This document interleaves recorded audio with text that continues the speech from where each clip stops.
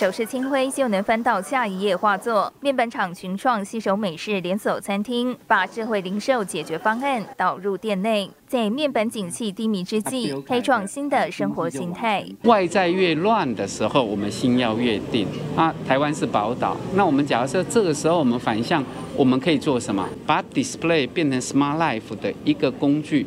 我们台湾在创造一个新的呃生活形态，就可以从硬体的八千亿变一兆两千亿，那这增加了百分之五十，就可以创造我们的 GDP，同时让我们的生活更美好。总经理杨柱祥指出，俄乌战争、中共清零以及美元飙涨，这些都是外在因素，加上供需失衡，使得面板价格下跌，导致群创、友达第三季营收下滑。中国面板厂京东方六年来首次单季亏损，第三季净利亏损十三点零五亿人民币，年减百分之一百一十八。另外，有消息传出，三星高阶主管这周来台，增加对非大陆面板厂的采购，要跟群创、友达洽谈。明年订单，对此杨柱祥表示不对单一客户做评论，维持国内的经济的稳定，同时跟国际客户做明年度的深化的一个 engage，确保整个国际供应链在这个呃。